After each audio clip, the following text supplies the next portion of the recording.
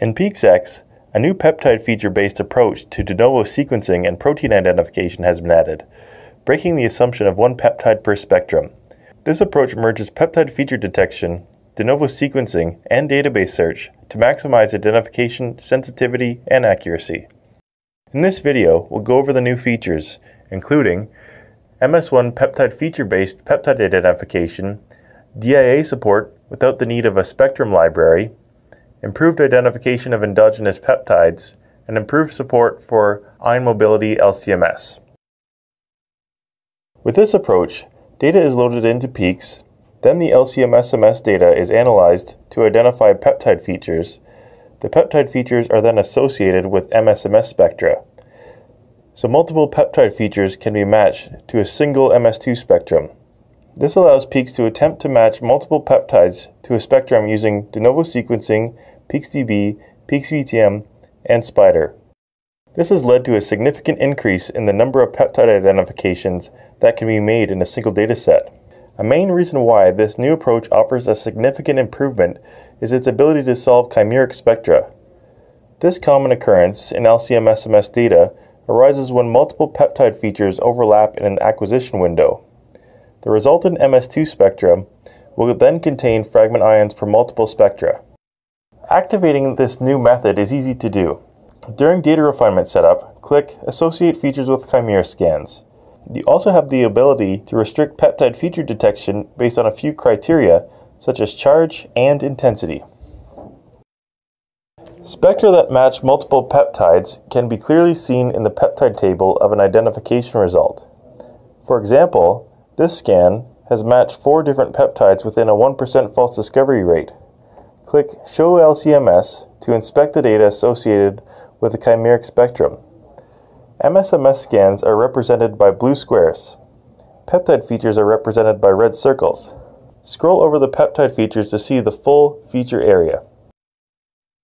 Looking at the different peptide features, you can see that the MSMS scan of interest is in the area of multiple peptide features, so, multiple peptide features were acquired in the spectrum.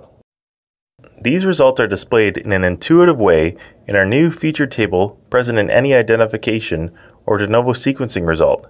Here, results are grouped by detected peptide feature. So, if multiple MS2 scans matched your peptide feature, you can see them in the heat map view. And scroll over them using the buttons above the annotated spectrum. You can also use the protein, show spec, and show LCMS to jump to the detailed views about those specific points. Another great interface improvement can be seen here as well.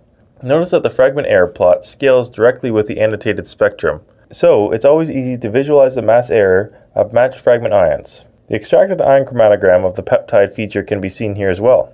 Notice the column for de novo sequences in the table.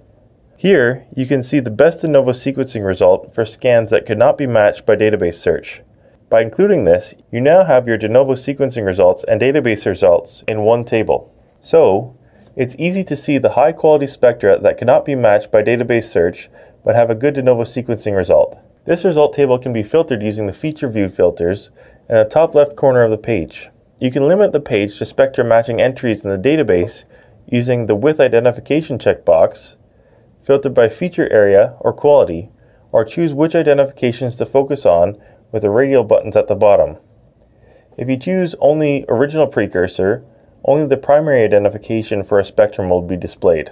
If you choose only from Chimera, it will filter the list to show identifications that don't match the precursor of the spectrum, allowing you to focus on Chimera identifications. This approach is especially successful when searching datasets containing endogenous peptides, when testing against previously reported endogenous peptide data, Peaks was able to expand the total number of identified peptides significantly.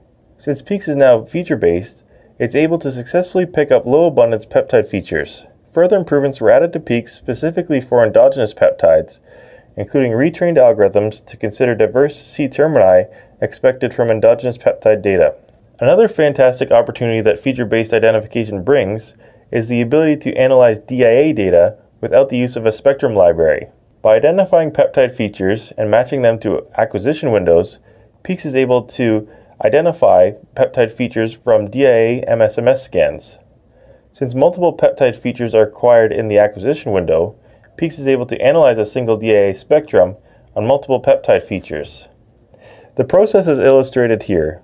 Peptide features are detected and matched to MS2 scans. Then, XICs of the precursor, as well as the fragment ions, can be drawn. Peptide identification of the different features that match the DIA MS2 spectrum is then performed. Since a significantly larger number of features can be acquired in a DIA spectrum than a DDA spectrum, some novel concepts are used. These include retention time prediction of peptides, reuse of fragment ions, and peptide fragment prediction. We have some DIA specific interface improvements as well. When looking at a DIA identification, the LCMS heat map shows the MSMS scan range and mass acquisition window. These improvements also provide increased sensitivity when analyzing ion mobility data. Ion mobility data is also very peptide feature rich, so using a feature focused de novo sequencing and identification approach greatly improves sensitivity for this type of data. Thanks for taking the time to check out the new features in PEAKS X. If you'd like to try a demo, you can find one at our website, bioinfor.com.